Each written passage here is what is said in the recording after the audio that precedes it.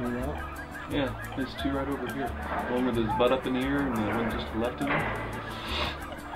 The four of us are on Vancouver Audubon's board. I came up with the idea originally that Tammy and I, my wife, were going to try to do a big year in the state of Washington and try uh, and, and use it as a fundraiser for Vancouver Audubon.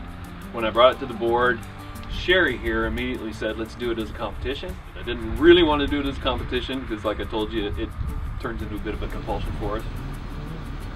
There's a Santa. Sorry. There goes our compulsion again. Bye. The record really came into possibility in July when we were already hit 330 species where we thought we'd end up at 330. Now we're looking at we still have five months to go and so the record was really started to get on our minds a little more then and then all these rarities in August and September started showing up and then we knew that we really had a definite possibility to break a record. People were constantly saying, "You're gonna break the record," and I'd say, "No, we're not gonna break the record." just I didn't think Eric and I Sooner were. or later, these unusual birds have got to stop showing up, and they didn't really until mid-December. That's they finally stopped showing up then.